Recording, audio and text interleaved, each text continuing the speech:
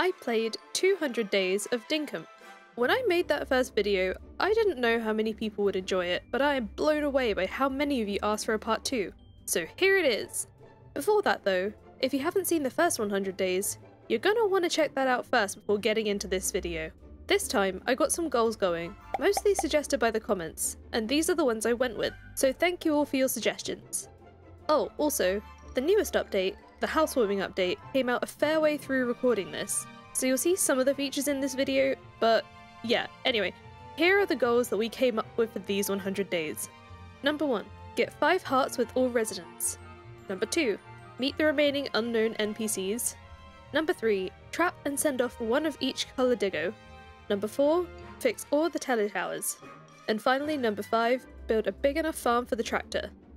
This video took me over a month to make, so I'd love if you could show some support with a little like and subscribe maybe? Anyway, without further ado, here we go! On day 101, I started by watering my crops, and sort of just getting my bearings again before going out bug catching and banana picking. I had a request to do for a photo of a specific location, so I snapped a photo of this local jellyfish and stole an egg on my way home for some extra cash. I showed Theodore the photo he asked for, and in return he gave me 12,000 dinks. This went towards clearing the town debt on day 102, so that I could relocate Franklin's lab, but before doing that, I decided to commission a motorbike from him. I stuck the lab in the new spot I planned from the last 100 days, before heading out to hunt for a monarch butterfly because one of the townies requested it, but returned empty-handed as I couldn't find one anywhere. Instead, I focused on the requests I could do for friendship gain, like these ones where they just sell you clothing. I did also buy this stylish lamp from Melvin's Shop, which I thought was very, uh, stylish. That evening, whilst out looking for more bugs, I happened upon that monarch butterfly, meaning we didn't lose our friendship with Franklin, and he gave us the hedge recipe. This was a huge deal, I've been waiting for this for a while. On day 103, I received my motorbike in the mail and immediately took it for a test drive. It became clear to me that I'm gonna need some practice here. Sally was visiting, so we went to say hi for the first time in this 100 days, and she sold us some boots. I caught a new bug the day before, so I donated it to the museum for my 100 permit point reward, selling the rest of my junk to John for 28 grand. This funded my next mining pass. For the afternoon, I wanted to take care of one of my main goals of restoring the towers, so I swerved my way over to the west of the island, though I did have to swim some of the way because bikes don't swim. For now, I was just here to check what materials we'll need, returning later in the evening and fixing the south tower and the west tower. Day 104 was a day full of village errands, because if I wanted any hope of reaching 5 hearts with everyone who lives here, I had to start right now. Once those were taken care of, I started extending the town plaza as I thought the bank would be a good fit for this section, bringing it all the way out by the animal pens. I couldn't go and pick up the deed today as Fletch was already leaving, but at least I could clear the town debt. Instead, we began work on another goal of catching one of every colour Diggo, which I believe there are three. I made a few iron animal traps and placed down another collection point as I hadn't replaced the last one I destroyed. I found my first colour Diggo close by, and it's pretty easy to push them into the traps, but it doesn't take them long to break free, so I just had to trap it over and over again until I reached the collection point. What was weird is that when I got to the collection point, I sort of missed the proper landing, and then when the Diggo broke free, not only did it duplicate, but it was stuck. It couldn't move or be trapped. I went to sleep to see if that would fix it, but on day 105, we still had that awkward mutant looking Diggo stuck in its place. So there was really only one thing to do here. Poor things. Let's try and forget about that and move the bank instead, setting it down in the area we set up yesterday. Sally was here today, and we were still trying to increase her friendship and convince her to move in, so I told her I'd catch a butterfly. In fact, I was so determined with all the friendships that I actually went fishing, by the time I got back to town, I caught a whole nine fish in one sitting. What's gotten into me? It wasn't till the evening that I remembered about my crops today, so it was at this point I realised the big onion field was ready. Except for this lonely one that Clover watered. The green beans were ready too. By the time I finished that and got the watering done, John's was closed. We couldn't sell anything just yet, so I crafted some hedges to decorate the plaza with. I also wanted to use these for a boundary to my backyard, but unfortunately these don't connect with the ones attached to the house, so I'll have to have a rethink. Day 106 was a Sunday, so I still couldn't resell my stuff. All these fish in my pockets were starting to create a funky smell, so I placed them in some tanks for the day so I had space for our first mining trip of the video. This time, I brought the motorbike with me, although I did have some trouble navigating around all the rocks and stuff. But the reason I brought it is because you can put as many fossils or gems on the back of the bike as you want without having to keep returning to the elevator. I did, however, run into a little bug. The bush devil knocked the bike down, which dropped the fossil on the floor, but when I went to get it back, I literally couldn't pick it up at all. It just wasn't letting me, I don't know why. Luckily, I shortly found another one, but in trying to run back, I got burned to death and crushed by that fossil. Then ended up respawning with it in the elevator anyway. A very expensive shortcut. I made up for it by the end of the day by finding four rubies, but without the bike because it seemed to just hinder me personally. I just suck at driving that thing. My post-mining selling spree netted me about 550 grand on day 107. I then thought about replanting the big field before realising we were close to the end of the season and changed my mind. I decided to prep for summer instead by making this field 100 tiles as previously intended, and having a separate 50 tile field for other crops. But of course, we can't do anything without being attacked by a wary. I decided to take revenge by trying to trap it, and like any other feisty animal, it was a bit of a pain, but I did eventually manage to send it on its flight. The buildings were all now in their final spots, so I took the opportunity to fix up the paths. On day 108, Milburn gave me a wooden chair in the mail, so I added it to the random dining table collection. I harvested some potatoes and grabbed a couple of eggs, which I immediately sold all of to John. This meant I got the journal achievement for selling over a thousand crops. I really wanted more permit points to upgrade my farming license, so I was looking through my journal to see if we had any close milestones, when I noticed this one saying we had two out of three house upgrades. So I sprinted straight into the town hall to get that upgrade, but nope, it still doesn't exist yet. Gutted. What we could do was buy two more chooks. One named Dora Explorer no, no. and one named Hennifer Aniston. this scored me 200 more permit points, allowing me to obtain farming license number 3. I was so ready to upgrade my tools. This meant I could now buy the irrigation license of sprinklers, so those are the next things to grind for. I then spent the rest of the night fishing? Then I bought the bug book which can identify bugs in the wild. Whoa, on day 109, I harvested my sugarcane and tested out my new watering can, which now waters 6 stars instead of 3. I still can't wait for sprinklers though. Whilst doing the rounds with the villagers for the day, I spotted this red nose which I just had to buy for a few seconds of amusement. Then went and handled my permit point dailies. Since I was carrying around a fair amount of money, I deposited some more into the bank.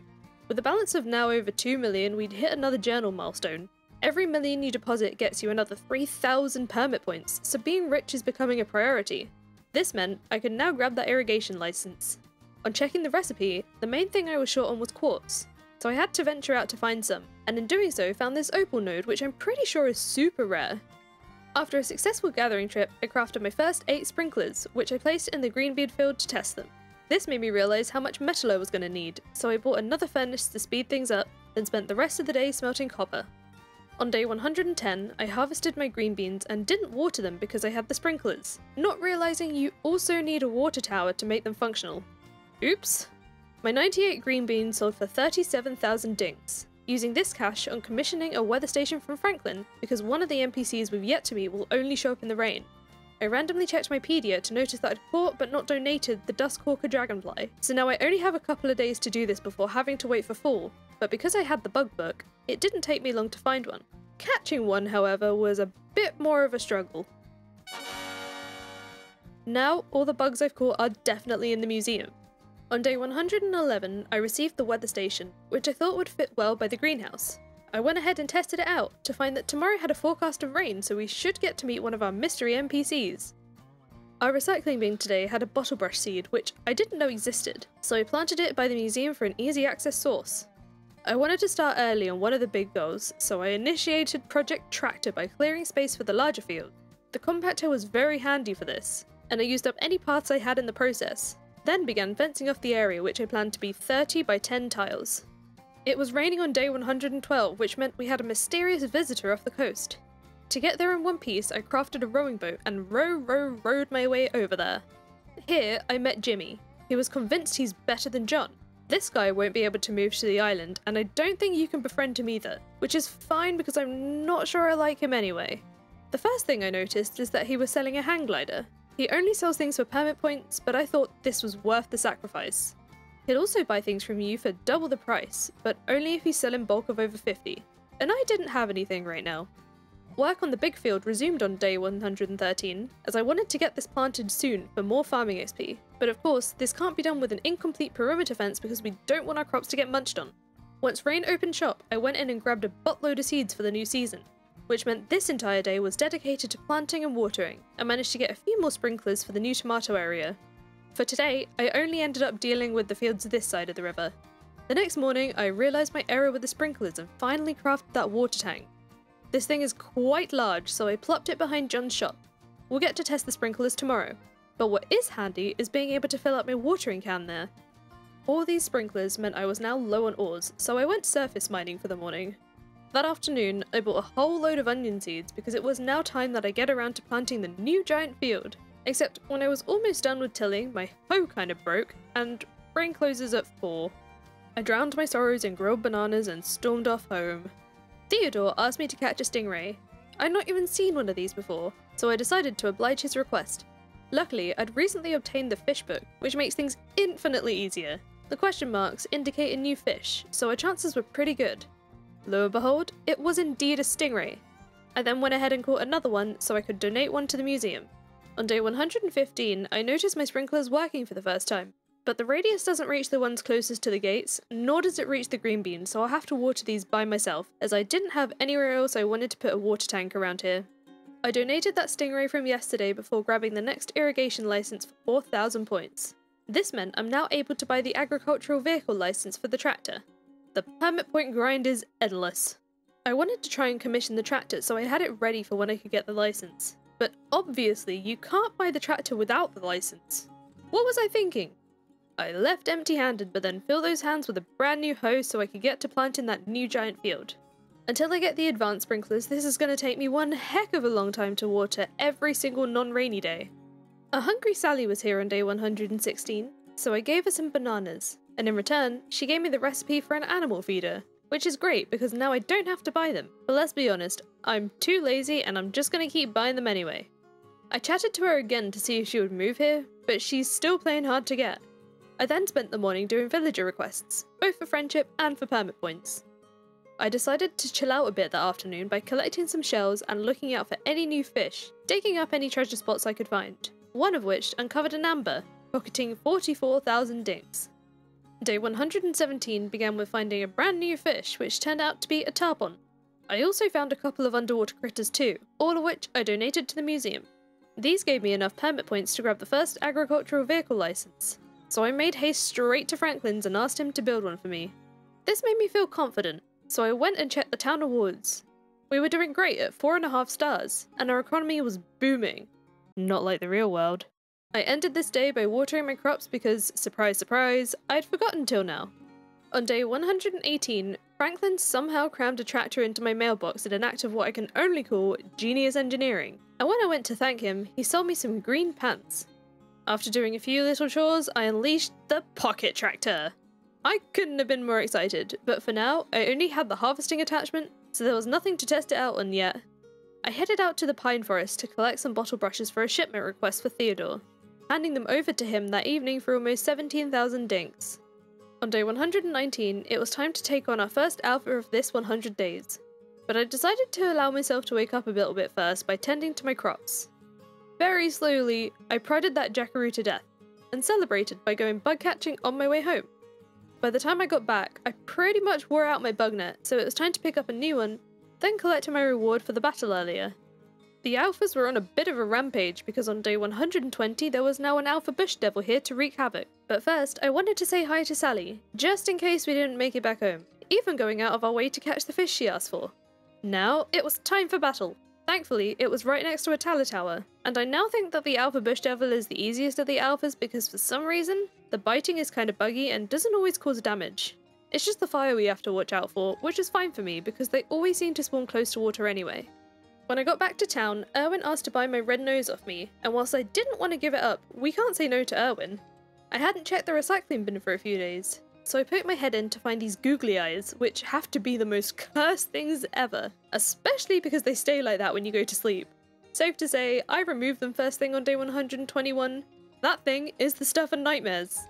Let's try and forget about them and check the bulletin board, which had some pretty easy requests today, and these are great for building friendships. For some reason, I decided to use the bike to get around town today, and I'm still not any better at driving the damn thing, but I did then spend way too long doing donuts in the plaza. when I went to say hi to Melvin, I couldn't help but notice this adorable Wombi bank in his shop, and I am not going home without this thing. But in a weird turn of events, Rayne wanted to buy it off me for a profit. I pondered for a few seconds. I really didn't want to give it away, but in the end, the friendship was the most worth it. Aww.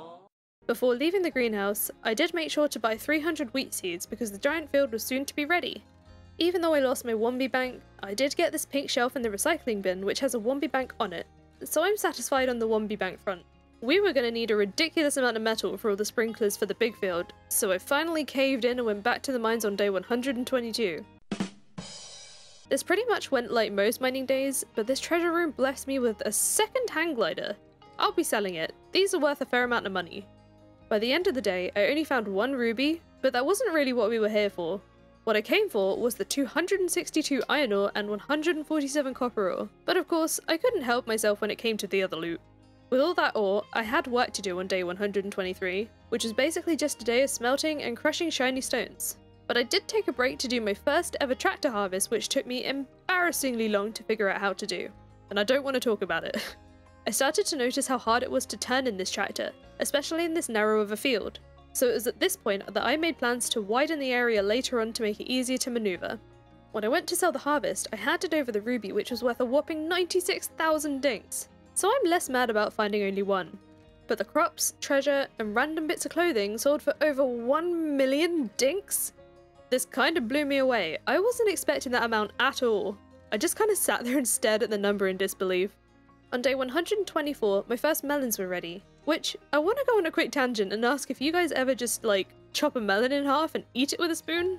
Like, the rind is a ready-made bowl, why would I dirty another bowl? And it's literally like the best and most satisfying. Anyway, we also had some sugarcane to harvest, so this was a good crop day. Then spent the entire afternoon out with a metal detector, because sprinklers need a wild amount of old springs and hot cylinders. On day 125, I handed a crafting request for two cooking tables for John, before depositing yesterday's riches into the bank. I dug up an amber chunk last night, which I can now sell for almost 40 grand, then I picked up the redundant sprinklers on the green bean field so that I could upgrade them to the advanced ones because all that watering was starting to drive me nuts. It was even worth it to me to destroy a few crops to place those sprinklers, which was going to save me loads of time every day. But it's worth mentioning that you won't get the farming XP for watering, although at this level I'm not sure that even matters anymore.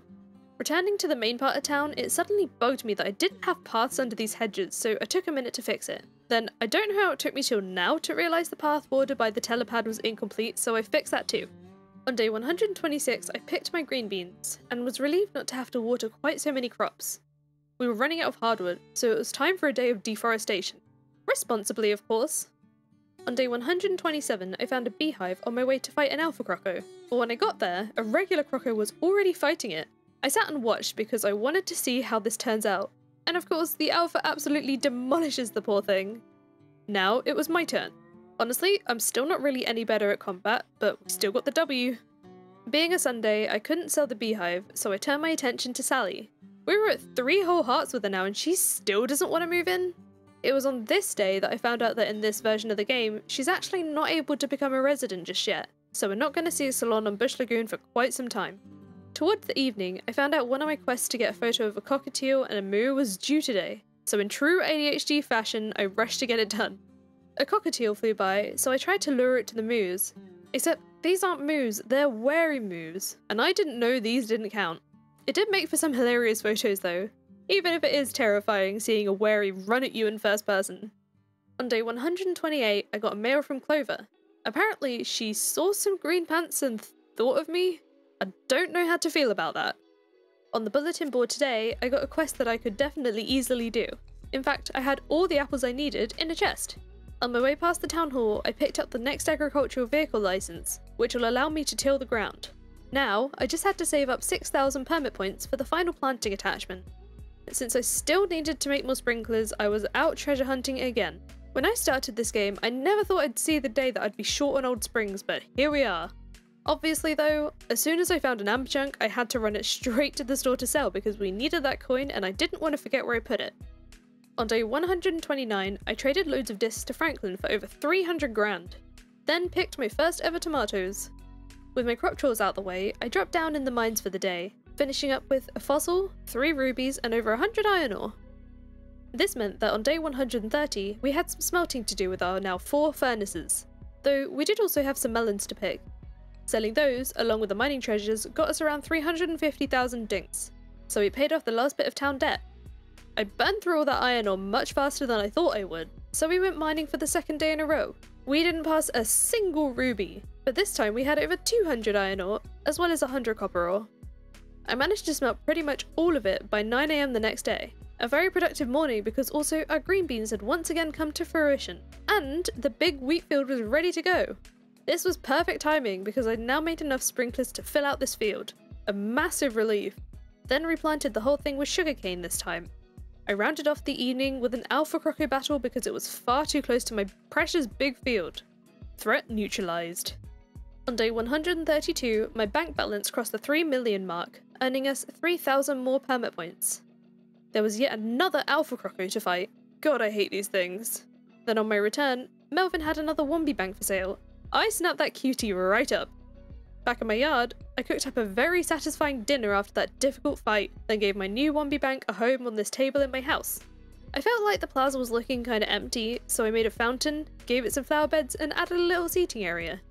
On day 133, I added some festival lights as a finishing touch, and I love how this little bit turned out. I thought one of these would fit well at the telepad too, and whilst we're at it, it's time we add some streetlights.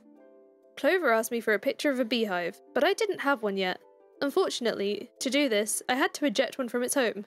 I felt kinda bad, but hey, at least we got the request done. Plus, we also got to sell it for 10 grand, hitting another journal milestone. I relaxed this Saturday afternoon with some bug catching. No, really, we went kinda hard with the bug catching. The problem with this is that John's is closed on Sundays, so here we go again, making another wildlife display outside for now.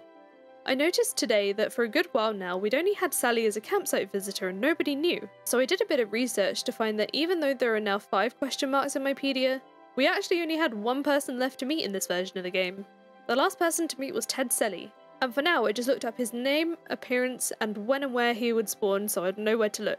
Unfortunately, it seems that he kinda can just be anywhere as long as it's after midday, so we'll just kinda have to happen upon him. To continue being productive, the day was spent treasure hunting as a villager asked for a photo of an amber chunk, and I could do with more old springs anyway.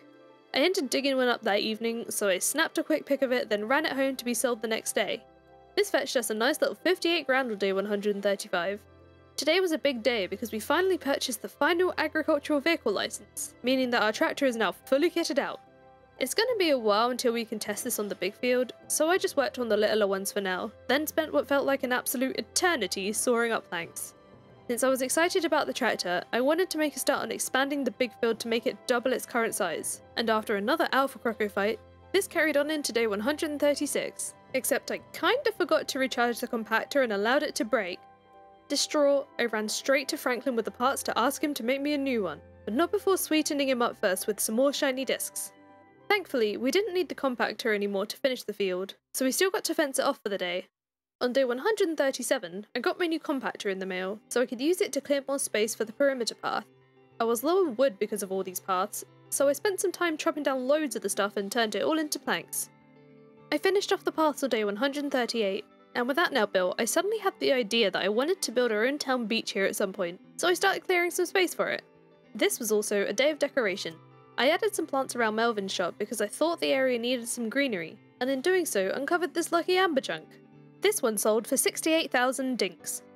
I put down as many grass seeds as I could, then hunted down an alpha jackaroo and decided to make more kegs, but it looks like something's a little bit wrong with this crafting recipe. I know this is changing in the next update. Day 139 was a day of yet more mining, and today I hit the milestone of having mined a thousand ores.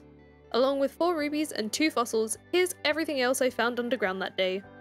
On day 140, I hit the milestone for having crushed 250 rocks, and all that stuff we got yesterday sold for nearly half a million dinks. Then, I kid you not, I spent the rest of the day smelting. On day 141, Milburn asked for a photo of Irwin. He's quite the celebrity, so I kinda get it, but it's still a little creepy. I decided maybe a close-up would be the way forward, and I'm not sure if I was just tired or delirious, but enjoy me dying laughing.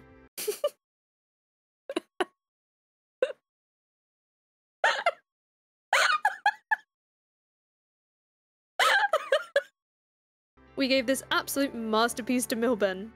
I then wanted one of these for more of the villagers, but John was on the move and it was a bit of a struggle. Oh, yeah. I got this cursed one of Franklin, and a much better one after.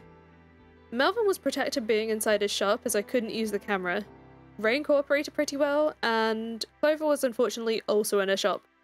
To do something actually productive this day, I went hunting for some old springs again and caught a brand new fish. Day 142 was a sugarcane harvest.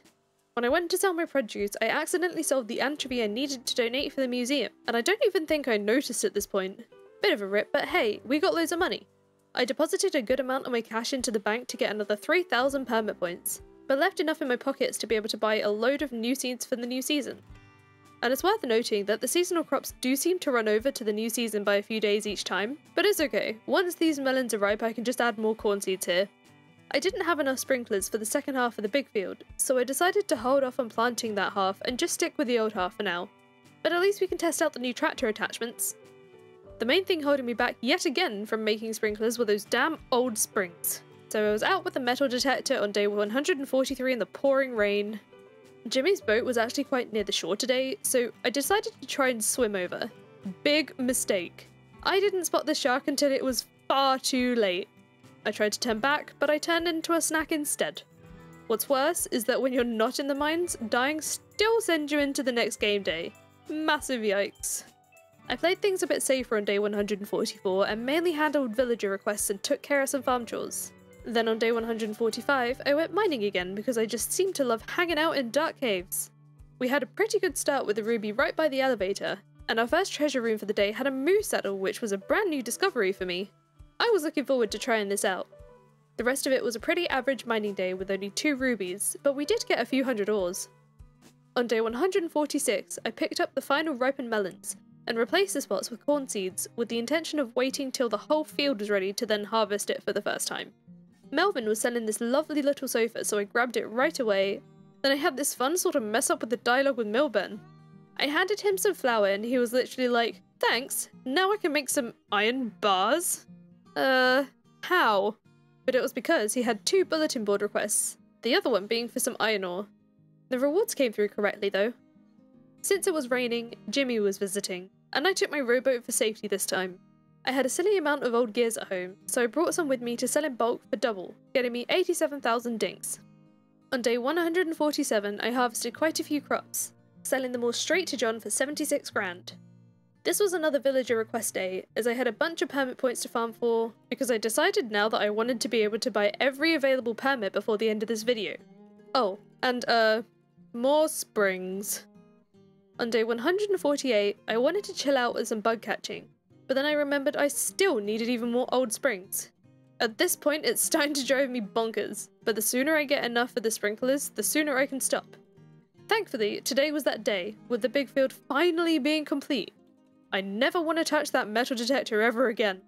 On day 149, I handed over 30 shiny discs to Franklin from all that metal detecting for a decent profit of over 300 grand.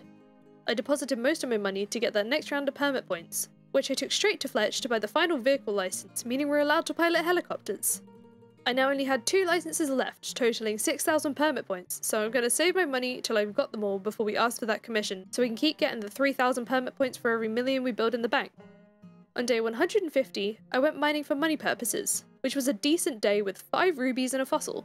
I did leave reasonably early though, because the bug tipster let me know of a new bug out after dark, but I didn't have any luck finding it today.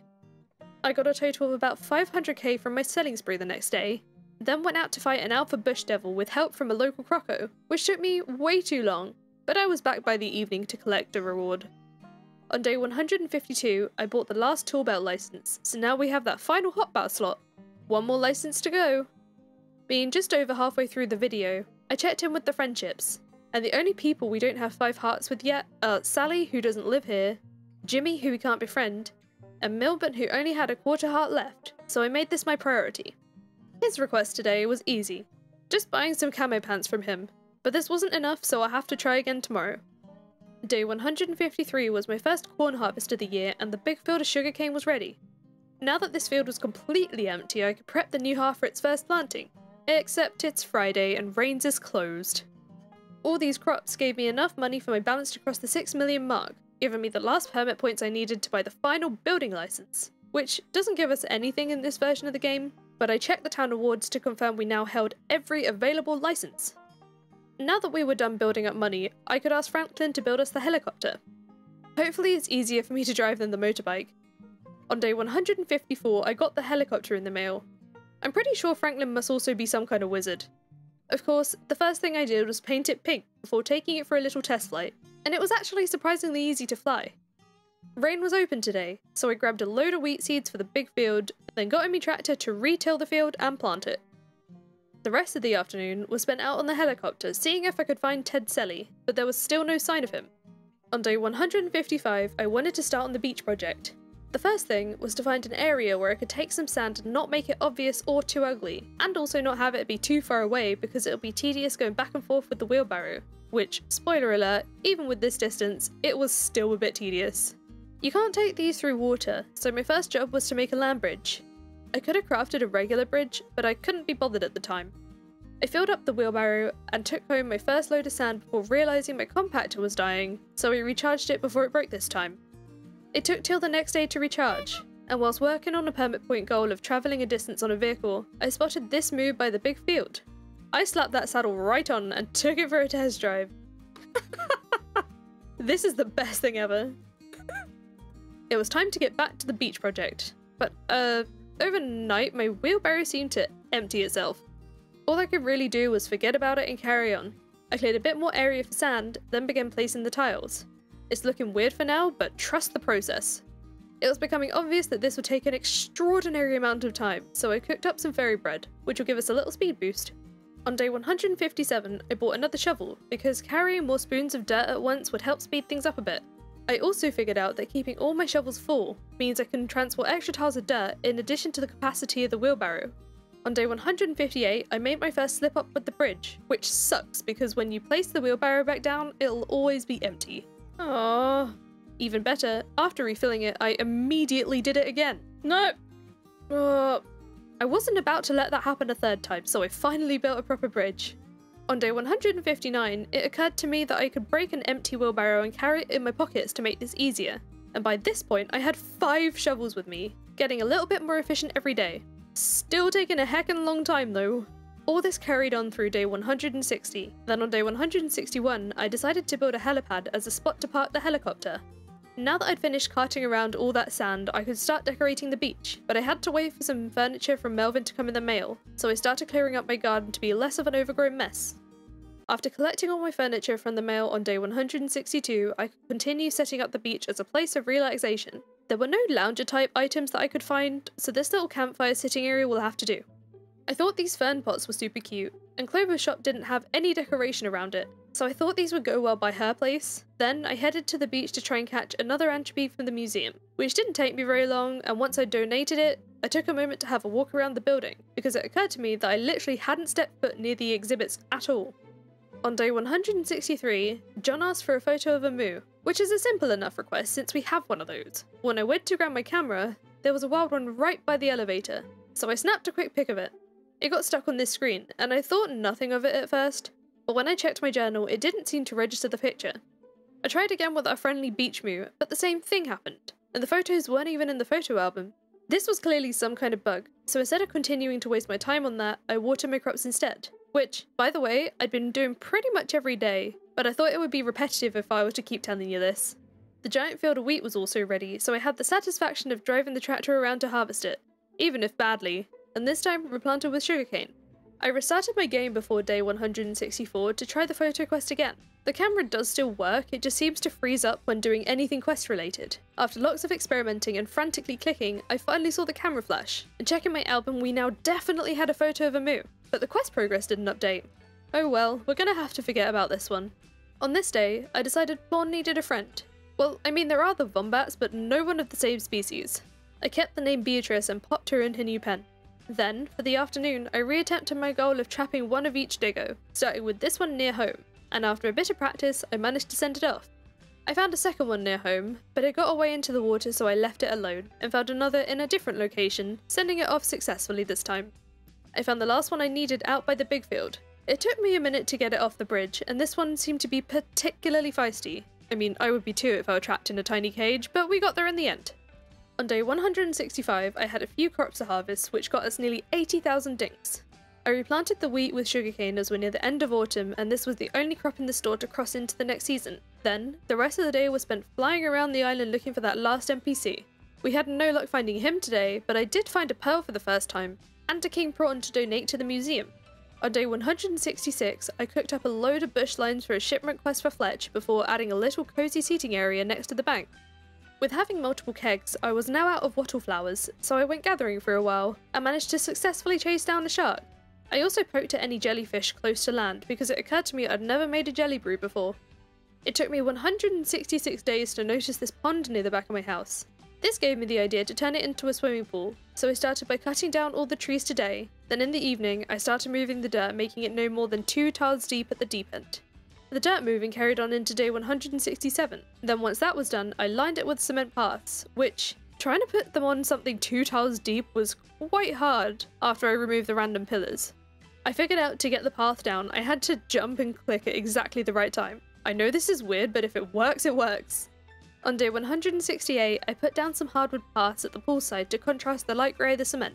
I did a little shopping at Melvin's, then remembered I was carrying poop in my pockets for him. With the pool basically done, I spent the afternoon out looking for Ted again. Where the heck is this dude? On day 169, I found a Reddit post showing someone making buildings out of dirt, bridges, and paths, and I wanted to give it a go. My idea was to build a little garage for my tractor so that it had a home by the big field. This is when I found out you can only dig holes of a certain depth, then it won't get any deeper, so you can actually get unlimited dirt this way. Really wish I knew this for the beach project. It took a bit of fiddling to get the bridge in place, and I wasn't so sure about the look yet. I carried on for now and slept on it, and after commissioning a gacha machine the next morning, I decided I hated it enough to tear it all down and use the bridge elsewhere instead. On day 171, I got the gacha machine, which cost 25 grand to get something from. I wasn't really sure how this worked yet, and I didn't know at this point it takes an entire day to spit something out, but I still went off and fought an alpha jackaroo for now, as well as clearing up another fallen satellite. I hadn't actually seen one of these for a while. Back at home, I've realised I forgot to add some lights to the pool area, and thought these tiki torches would be a nice touch. And lastly, I added a little rock path off the fruit orchard to get to it. On day 172, I got a furnace from the gacha machine, then for some reason decided to cook one of each dish I hadn't made yet. I actually really messed up this day, because I thought when I was recording this that this was day 200. This is because when I did the 100 day series in Stardew Valley, day 200 was then on Winter 4, but in Dinkum, everything starts a season ahead, so we're actually due to end on Spring 4th. On this day, I ran around to give a tour of what I thought my town had ended up like, and it actually took me until I scripted this day to realise my mistake, so I guess we can call this one a bit of a progress update? This actually gave time for the new housewarming update to come out, meaning the remaining days we get to explore some of the new things the game has to offer. On day 173, Fletch told me about the three new houses we can now build.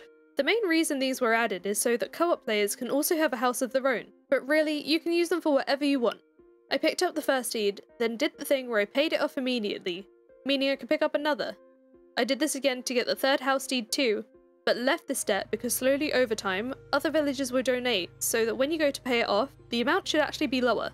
I put the first two by the big field, then the third I set up as like a pool house. Aside from some planks, I had all the materials, so it didn't take me long to get each house's stuff done. By this point, it was the afternoon, so I went on the hunt for Mr. Ted again. On day 174, Sally was visiting, and the inside of her tent was looking more salon-like. She asked me for a harlequin butterfly, then I hopped in the chair for a quick style change, picking up this cute little bun look, although I wasn't so keen on how it looked with a hat, so I asked her to change it back. I returned shortly after with the butterfly she requested, and before even giving it to her, she said she was wanting to move in.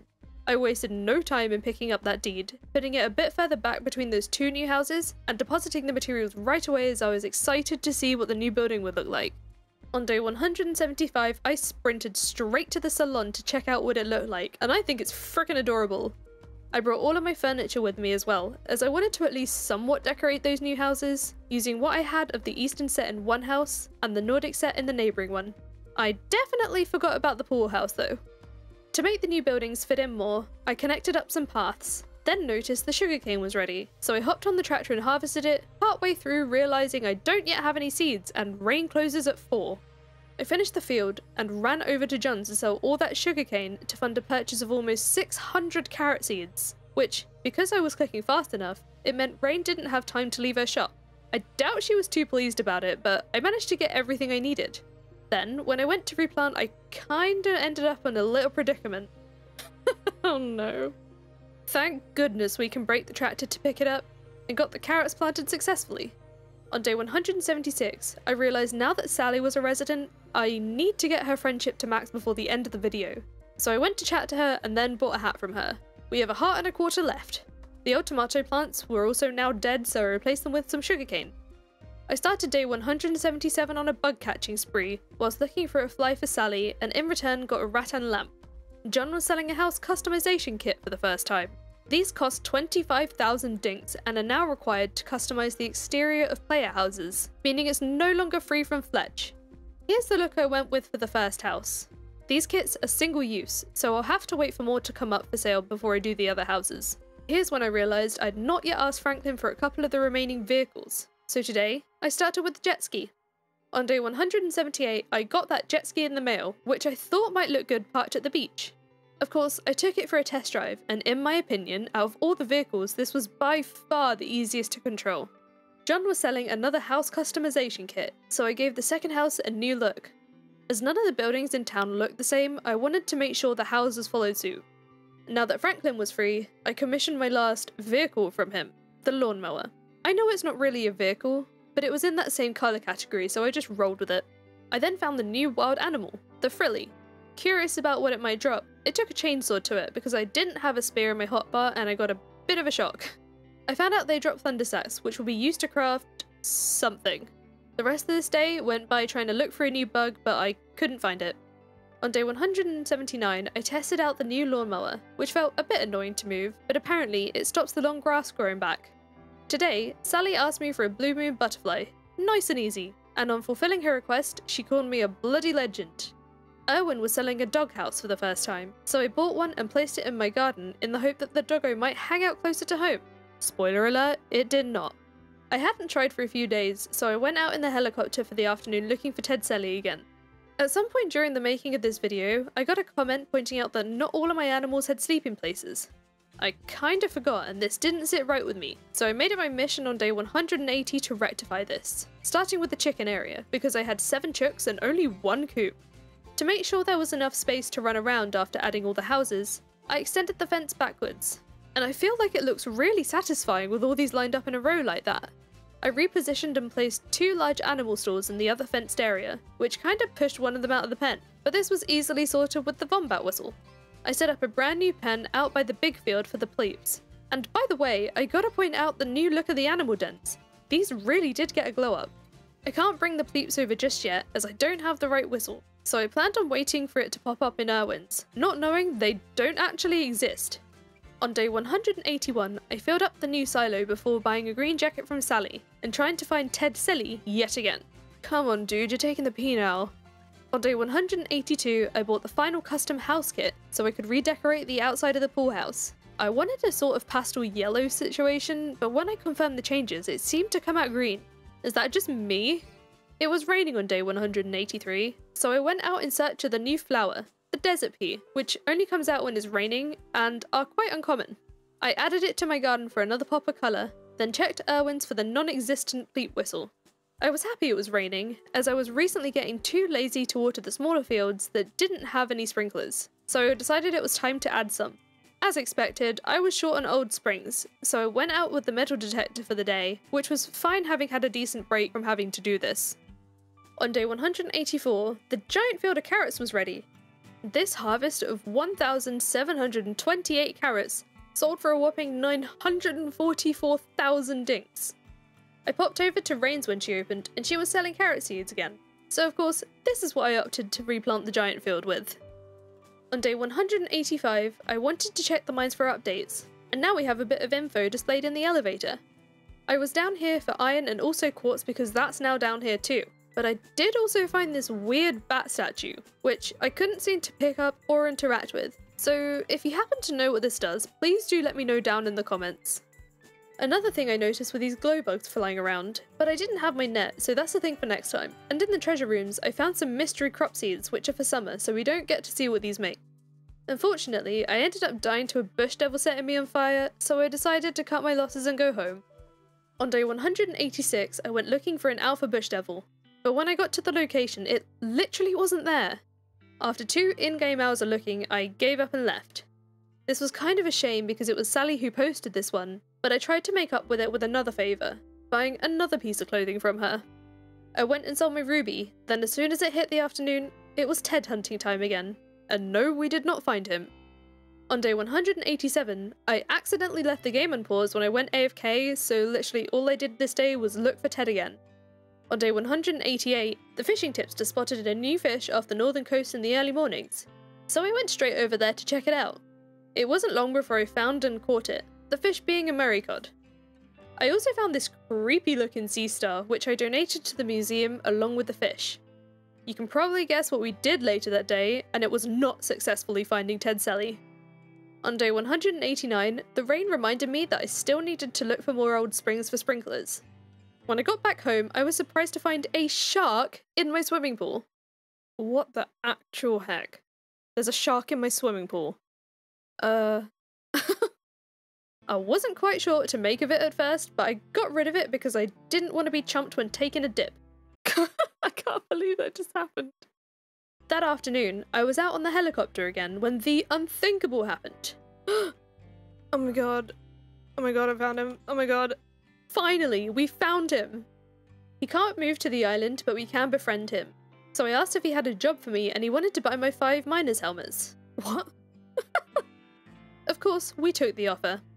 Now that I found him, I could browse his wares. He had this bat zapper, which was new for the update, and this is what the thunder sacks are for.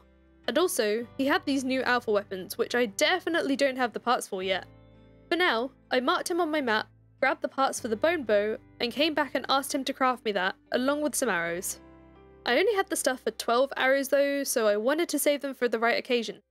On day 190, I regained my courage enough to re-enter the mines again, as I had a bunch of keys and wanted some more iron. By the evening, I picked up three rubies and all these goodies. A pretty standard mining day, but I did forget my net again, so no bug today. On day 191, I commissioned a second helicopter. You'll see why later. My rubies sold for almost 250k, and one of them was our 50th, so we hit another journal milestone. Since I had the money, I bought another mine pass, specifically just to catch that glow bug. That is the most expensive bug catching session we've ever had. After donating it to the museum, I tested out the bone bow on a nearby frilly, and it didn't do a huge amount of damage, so I quickly switched back to the chainsaw instead. On day 192, I finally remembered about adding a path to the pool house before harvesting my carrots and replanting some sugarcane. I collected my almost a million from the carrots from John and deposited it straight into the bank. Then, for a second time, I forgot to hit pause when I went AFK. On day 193, I was on my way back from catching a butterfly for Sally when before I even gave it to her, she reached 5 hearts. She's our last resident, so that's that goal completed. Irwin still obviously wasn't selling a pleat whistle, so I decided to find another method. I thought the guitar worked like a universal whistle, then I could just call the Wombats back to their enclosure afterwards. Problem is, I kinda sold all the guitars I found, so that idea kinda goes out the window. The next solution was to bring the Wombats over here to live instead, so I picked up the pleat dens and put them where the Wombat stalls were. After I lured the Wombats across the bridge to their new home, it felt a little bit cramped because the animal stalls are large and in charge, so I extended this pen a little bit more to have a separate sleeping area, concluding the animal upgrade project. On day 194, I began a hunt for a bug that apparently hangs out in the plains all day, according to the bug tipster. I ran around with my bug book open for the entire day, but I didn't find anything new. Day 195 was a rainy day, so I planned to bring some of the many old parts I had to sell to Jimmy and Bo. He was courteous enough to hang out by the shore today in easy reach, and received almost half a million for my items. Whilst I was there, I spent some permit points on a pot of gold paint, and the golden bush devil statue. I returned home and put that gold paint on the second helicopter, then flew it over to the bank's roof to permanently park it there because there's no getting it down once I jump off. I did this because I felt like Milburn would be the type to have a gold helicopter on his roof. Definitely our most expensive decoration. I then went to use my own helicopter for something, but to my horror, it had vanished from the helipad, and there was no icon on the map for it either. This made me initially think that asking for a new helicopter deletes the old one, but I did go check all my chests first with no success. Rest in peace helicopter, I guess.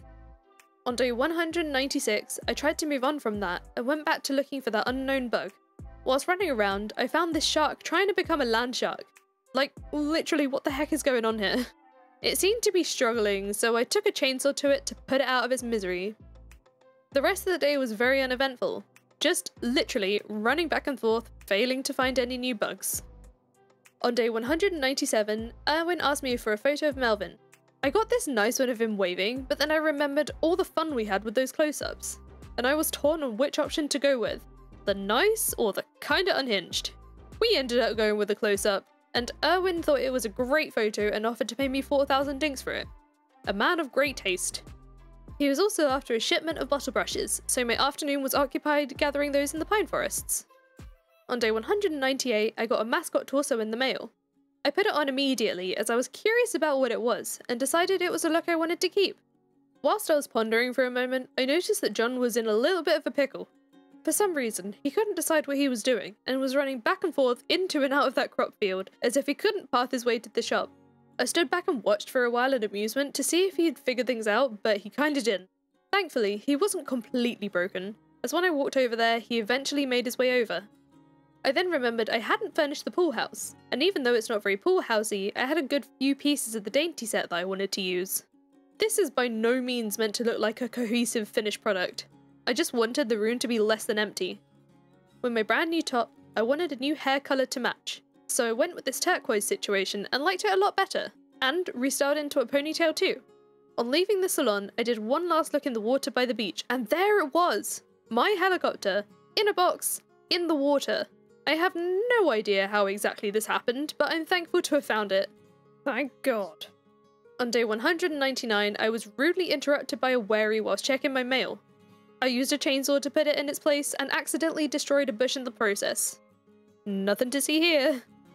Last season's corn died off, so I cleared that up and left the field bare because this one didn't have any sprinklers. And after some final town prep for the day, I went out to fight our last alpha of the video, receiving our first special alpha drop from the new update, an alpha scale. Day 200 was official tour day, but before I start with that, I wanted to show one more feature that I forgot about till now. You can now use paint to colour code chests. But now, on with the tour. I start with a house, but honestly, this looks almost the same really. And other than some flowers and the empty doghouse, the garden didn't really change much either because I suck at coming up with ideas. We decorated Clover's with those fern pots, we have the new weather station over here too, then, just past the crop fields, we have the fruit orchard which is now fully grown. This is right by the plaza, where we added that fountain seating area, and of course Milburn's gold helicopter. The Bush Devil statue also got an upgrade. Moving on to the animal area, we have the campsite first, which looks exactly the same and is a little bit redundant at the moment. Then, we have this pen here, which now just belongs to the plebes. They still live across the way from the chooks, who now all have a house of their own. Further along from there, we have one of the big changes, which is the brand new beach. Wait, what's that mangrove tree doing here? This was definitely not ever a mangrove. Nope, not at all. Do not perceive those trees. Anyway, Here's our town beach, complete with jet ski rental, campfire area, and resident moo. Then over past the helipad and across the bridge, we have the new area, home to our new giant crop field complete with tractor, and the new Vomba area. We've also got a new little house, this one has the eastern theme. Then next door is the brand new salon with our latest resident, Sally. And finally in this section, we have the second new house with a Nordic theme, but this has given me more waiting room vibes if I'm honest. I hopped onto the helicopter to do a flyover tour, and I think I'm actually really happy with what the little town has developed into. In doing that, I realised I forgot to show off the pool area, so here it is, along with its new house. We'll call this the Dainty Pool House. Now for the progress check. We only have a few of each type of creature left, and I think these are mostly quite rare ones, and it's quite hard finding the creatures you have to die for as well. As for the people, firstly, ignore the four question marks. Those NPCs I uh, don't think exist yet, so we've met everyone we can for now. and everyone has 5 hearts of friendship except for Jimmy, who you can't befriend, and Ted Selly, who is rare, can't move to the island, and we only saw him once. Under my details, here are the level updates. We made a fair amount of progress, except in fishing, which is unsurprising. And also, we have every single license the game currently has to offer. Finally, we have the animal friendship, which has improved significantly, except for Doggo who just refuses to come home. As we saw earlier in the video as well, we managed to trap and send off one of each colour Diggo, fix all of the Tele-Towers, and build ourselves a big enough farm to use the tractor with, meaning we successfully completed all five of our goals. I can't believe how much we accomplished in 200 days. I feel like at this point I've done a good portion of what the game has to offer. There are definitely a few things I'll have missed, but in the current game version, I definitely don't feel that I have enough to do for another 100 days. This isn't going to be the final end of this series though, as I'll be revisiting this once again once the developer has put out a few more updates in the future that we can explore together. If you enjoyed the video, I'd love if you could show your support with a like and subscribe. 100 day style videos I think will always be a part of my channel, so if you enjoy this kind of content, I'd recommend checking out my Stardew Valley Expanded series, and sticking around for future playthroughs of more Stardew Valley, along with potentially some other games. Thank you so much for watching, a special thanks to the members of the Berry Basket, and I'll see you all in the next video. Bye!